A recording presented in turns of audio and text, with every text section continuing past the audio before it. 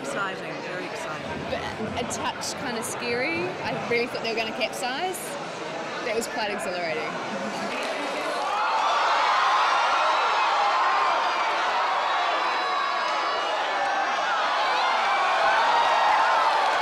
When the, when the team New Zealand went on the side, I was so sad, you know. I actually had tears in my eyes.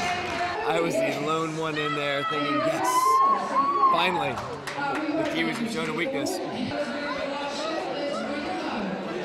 the atmosphere is so good because we're so far away from San Francisco, and this is the place to watch it. So it's brilliant. Yes. Good luck to New Zealand for tomorrow.